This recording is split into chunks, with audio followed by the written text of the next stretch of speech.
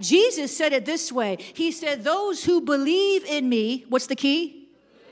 Those who believe in me, out of their heart, out of their bellies shall flow rivers of living water. Not just a stream, not just a trickle, not just a river, but rivers plural. I'll tell you what, if you'll start believing God, you'll begin to see the rivers flow. Whatever kind of rivers the people around you need, you will become what the one that God uses as the well to pour out. I'm talking about rivers of anointing, rivers of increase. Come on, rivers of deliverance, rivers of joy. Come on, rivers of provision. Come on, rivers, rivers, rivers, rivers, rivers, rivers, rivers. I want to, come on, I want to dance in the river. Come on.